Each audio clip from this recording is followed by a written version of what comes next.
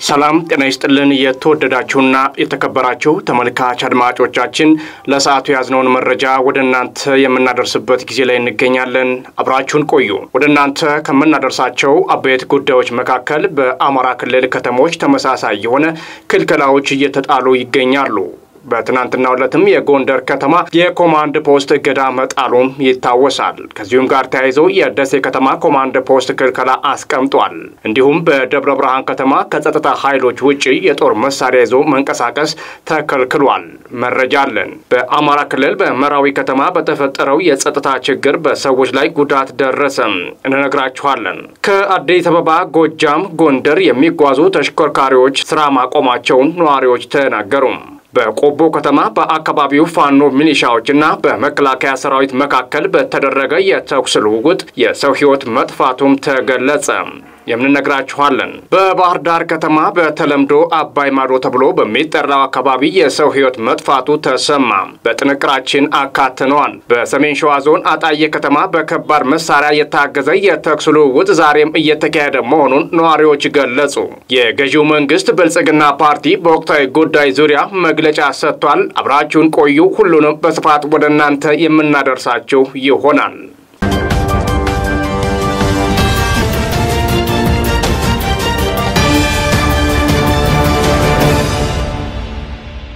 በዝርዝር ወደምንመለከተው ጉዳይ እናልፋለን። በአማራ ክልል ከተሞች ተመሳሳይ የሆነ ክልከላዎች እየተጣሉ ይገኛሉ። ከእነዚህም መካከል የደሴ ከተማ ኮማንድ ፖስት ክልከላ አስቀምጧል። ማምሻውን የደሴ ከተማ ኮማንድ ፖስት በጎንደርና ደብረ ብርሃን የተጣሉትን አይነት ተመሳሳይ ክልከላዎች መጣሉም ተገልጿል። በሌላ በኩል የጸጥታ ኮማንድ ፖስት ለከተማው ነዋሪዎች ባሰራጨው መልእክት በከተማው እየተሰራ ያለው ልማት ለደቂቃም ሊስተጓጎል አይገባም ብሏል። ህዝባችን ሰላም፣ ልማት እንደሚፈልግ ጠንቅቀን እንረዳለን ያለው ኮማንድ ፖስቱ የደሴ ህዝብ ከእንግዲህ በሴራ እየተጎዳ መቀጠል የለበትም ሲልም ገልጿል።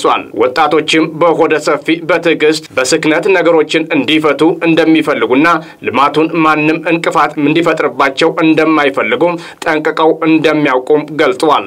ኮማንድ ፖስቱ መንግስት ህግ ለማስከበር የተደራጀ ኃይልና ዝግጅቱን ቢኖረውም ከተማችን ነገሮች በሰከነ መንገድ በውይይት እንዲፈቱ በመፈለግ ታግሰናል ብሏል። የጸጥታ ኮማንድ ፖስቱ ዋናው ችግር ከሌላ ቦታ በመጡ ኃይሎች አስተባባሪ እንጂ በከተማው ህዝብ እንዳልሆነ ህዝባችን ልብ ሊል ይገባልም ብሏል። የደሴ ከተማ የጸጥታ ኮማንድ ፖስት ከሌላ ቦታ መጡ ያላቸውን ኃይሎች እነማ እንደሆኑና ከየት እንደመጡ ባወጣው መግለጫ ያለው ነገር የለም። በደብረ ብርሃን ከተማ ከጸጥታ ኃይሎች ውጭ የጦር መሳሪያ ይዞ መንቀሳቀስ ተከለከለ። የደብረ ብርሃን ከተማ አስተዳደር ኮማንድ ፖስት ለጸጥታ ማስከበር ተልዕኮ ከተሰጠው የጸጥታ ኃይል ውጭ የጦር መሳሪያ ይዞ መንቀሳቀስ ተከልክሏል። በከተማይቱ በሚገኙ መጠለያ ጣቢያዎች ያሉ ተፈናቃዮች ወቅታዊ ሁኔታ እስኪስተካከል ድረስ ከካምፕ ውጭ እንዳይንቀሳቀሱም አግዷል። ኮማንድ ፖስቱ ክልከላዎቹን ትናንት ሰኞ ሚያዝያ ሁለት ቀን 2015 ያስተላለፈው የከተማውን ሰላምና የህግ የበላይነት ለማረጋገጥ እንዲቻል በሚል ነው ብሏል። ከተላለፉት 14 ክልከላዎች ውስጥ ያለ መንግስት እውቅና ስብሰባዎችንና ሰልፎችን ማድረግ ማገድ ይገኝበታል። በኮማንድ ፖስቱ ውሳኔ መሰረት መንገድ መዝጋት፣ አድማ መቀስቀስ፣ ማገድና ማስተባበር እንዲሁም መደበኛ ስራን ማስተጓጎል በጥብቅ ከልክሏል። በአማራ ክልል በመራዊ ከተማ በተፈጠረው የጸጥታ ችግር በሰዎች ላይ ጉዳት ደረሰ። በምዕራብ ጎጃም ዞን በመራዊ ከተማ በትናንትናው ዕለት ከልዩ ኃይል በአዲስ አደረጃጀት ጋር በተያያዘ በተፈጠረው የጸጥታ ችግር ሰዎች መቁሰላቸውን ነዋሪዎች ተናግረዋል። የሰሜን ሜጫ ዋና ከተማ በሆነችው መራዊ ከተማ መንግስት የክልል ልዩ ኃይሎች በአዲስ እንዲደራጅ ያስተላለፈውን ውሳኔ ተከትሎ የጸጥታ ችግር መፈጠሩን ማንነታቸው እንዲገለጽ ያልፈለጉ ነዋሪዎች ተናግረዋል። በዚህ መነሻነት ተኩስ የነበረው መሆኑና በተኩሱ የቆሰሉ ሰዎች እንዳሉና የቆሰሉ ሰዎች ቁጥር በውል እንደማይታወቅም አብራርተዋል። የክልሉ ልዩ ኃይሉን ወደ መከላከያ ሰራዊት፣ ፌዴራል ፖሊስና የክልል ፖሊስ ለመቀላቀል መንግስት ያስተላለፈውን ውሳኔ በመቃወም በተለያዩ የአማራ ክልል ከተሞች የተቃውሞ ሰልፍ እየተካሄደ ይገኛል። ከአዲስ አበባ እንዲሁም ጎጃምና ጎንደር የሚጓዙ ተሽከርካሪዎች ስራ ማቆማቸው ነዋሪዎች ተናገሩ። ከአዲስ አበባ ጎጃም፣ ጎንደር የትራንስፖርት አገልግሎት የሚሰጡ የህዝብና የጭነት ተሽከርካሪዎች ከመጋቢት 30 ጀምሮ እንቅስቃሴ ማቆማቸውን ከባህር ዳርና ከሌሎች የአማራ ክልል ከተሞች የሚንቀሳቀሱ ተሽከርካሪዎች ስራ ማቆማቸውን ከፍተኛ ችግር ውስጥ ለመሆናቸው ነዋሪዎች ተናግረዋል። የትራንስፖርት ችግር የተቋረጠውም በአንዳንድ አካባቢዎች በተፈጠረው ውጥረት ስለመሆኑ የገለጹት ነዋሪዎች ችግሩ በመንግስት ተፈቶ የትራንስፖርት ሁኔታ ቢቀረፍልን ሲሉም ጠይቀዋል። በተለይ ከመጪው የትንሣኤና የረመዳን በዓል ጋር ተያይዞ የትራንስፖርት እንቅስቃሴው መቋረጡ አካባቢው ተወላጆች ወደ ትውልድ ስፍራቸው እንዳይጓዙ ለገበያ የሚቀርቡ ዕቃዎችና ለምግብ ፍጆታ የሚሆነው ጤፍ ገዝቶ ለማምጣት መቸገራቸውንም አክለው ተናግረዋል። ከዚሁ ጋር በተያያዘ መረጃ ከደብረ ብርሃን ደሴ ተሽከርካሪዎች ስራ ማቆማቸውና መንገድ ዝግ መሆኑን ነዋሪዎች ተናግረዋል። በቆቦ ከተማ በአካባቢው ፋኖ ሚሊሻዎችና በመከላከያ ሰራዊት መካከል በተደረገው የተኩስ ልውውጥ የሰው ሕይወት መጥፋቱ ተገለጸ።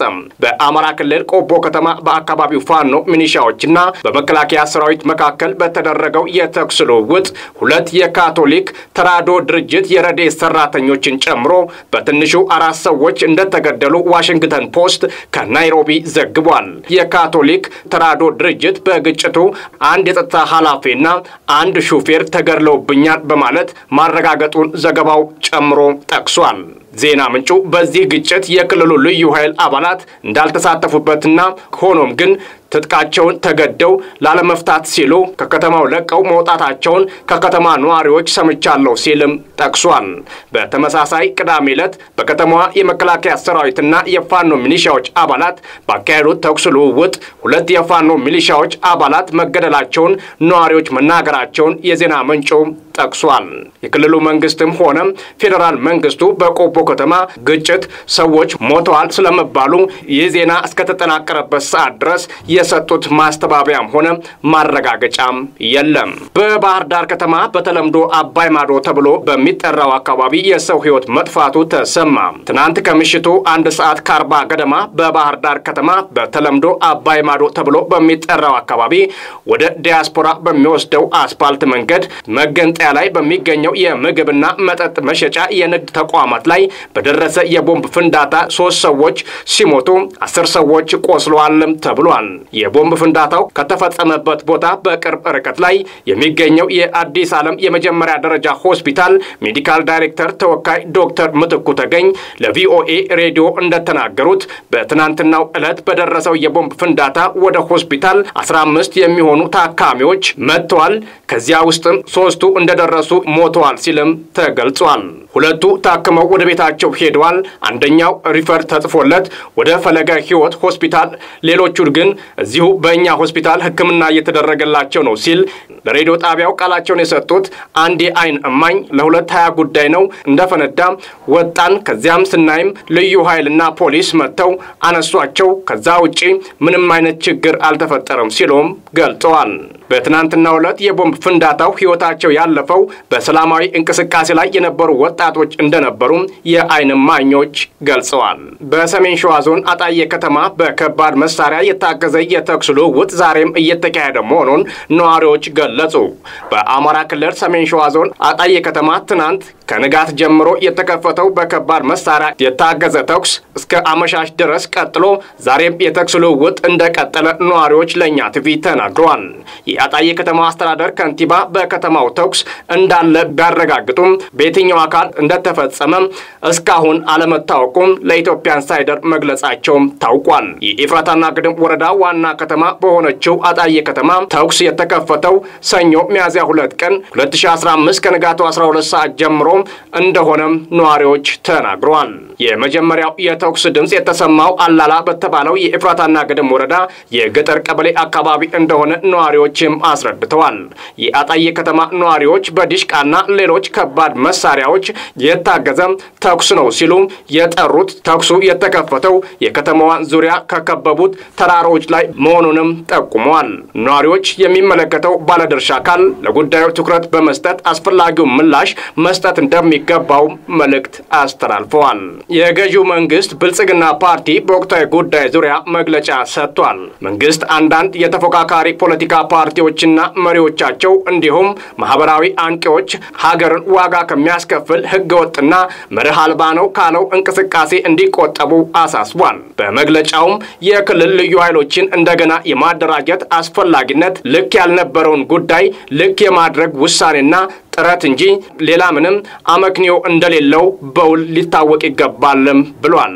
ፓርቲው አንዳንድ የተፎካካሪ ፓርቲዎችና መሪዎቻቸው እንዲሁም ማህበራዊ አንቂዎች ነን የሚሉ ግለሰቦች ጉዳዩን አንዳንድ ክልሎች ብቻ ትጥቅ የማስፈታት ጉዳይ አድርገው የሚያቀርቡበት ጉዳይን ለመግለጽ የሚጠቀሙበት ማክሰም፣ ማጥፋት፣ ማፍረስ፣ መበተን ወዘተ የሚሉትን ገለጻዎች ምንጫቸው ከየትና ምንጫቸው እንዴት ሆነው የሚሉትን መተንተን ለዚህ አውድ ፋይዳው ብዙ ባይሆንም ግባቸው ግን ርካሽ የፖለቲካ ትርፍ ለማስገባትና ህዝቡን ለማሳሳት በመሞከር ጊዜያዊ ቅቡልነት ለማግኘት የመጣር ፍላጎት እንደሆነም በቀላሉ መረዳት ይቻላል ተብሏል። ስለዚህም ከዚህ ሀገርን ዋጋ ከሚያስከፍል ህገወጥና መርህ አልባ እንቅስቃሴ እንዲቆጠቡ ፓርቲያችን ያሳስባል ብሏል።